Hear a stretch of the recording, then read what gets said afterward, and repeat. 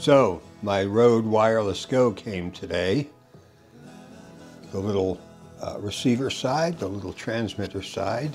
However, what do you do when your camera you're using doesn't have a mic jack, such as the Lumix LX10 I'm using now, or my DJI Osmo Pocket, and I don't have the mic adapter?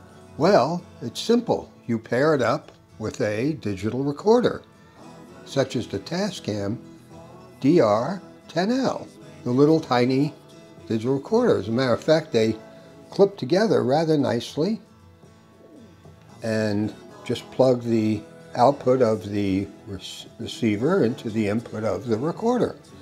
That can be put in a pocket, that could be put anywhere you like.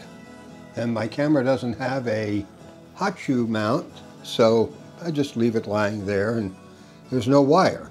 I did test the uh, Rode Wireless Go, which came today, by the way, with my lavalier mic that came with the DR10L, the Tascam, and the sound is virtually identical, either indoors or outdoors. So that was great. So that's how you do it, and you just post sync it up. Uh, in DaVinci Resolve, you just tell it to sync the two soundtracks by the waveform, or if you don't have that method, you can always clap and use that as a sync or slate or whatever.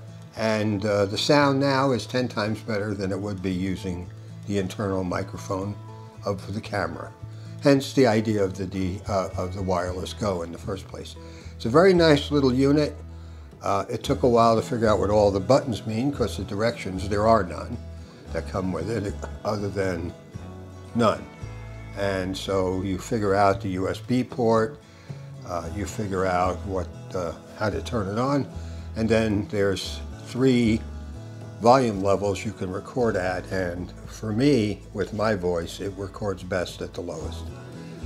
Now I hate reviews, and you know YouTubers love to talk forever, so I can ramble on for another 20 or 30 minutes. But that's a quick uh, idea of the wireless Go from Rode attached to a Tascam DR10L and how it's used. Thanks for watching.